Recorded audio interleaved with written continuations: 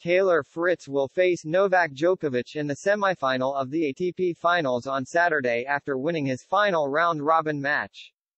Taylor Fritz booked his spot in the semifinal of the ATP Finals on his debut as he outlasted Felix Auger-Aliassime 7-6-4, 6-7-5, 6-2 in 2 hours and 44 minutes to set up a meeting with Novak Djokovic on Saturday.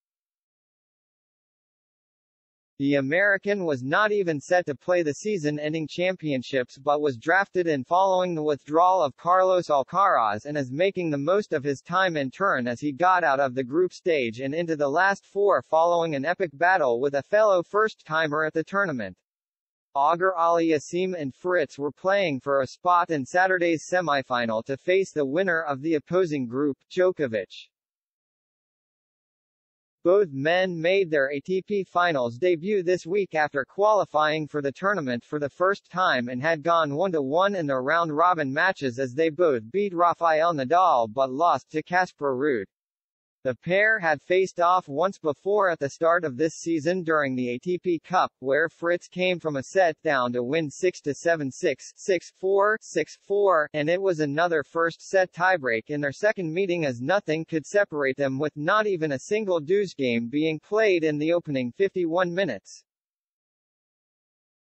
The American dumped the ball in the net to immediately go down a mini break but an error from Auger-Aliassime made them even.